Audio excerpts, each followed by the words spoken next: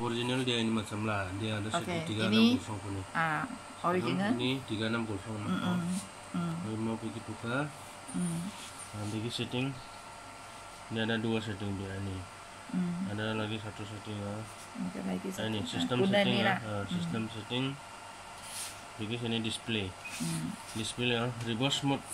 Dia ABM dia 36 pulsa Mata. ini tukar lah tukar pergi kalau guna rear saja ah, belakang saja inilah. Kalau depan belakang ah, ini dah dari ah, ini ini sudah tukar mm. apa sekarang ah? Sekarang. Reverse belakang saja lah. ah oke. Oke, Hmm, ini thank macam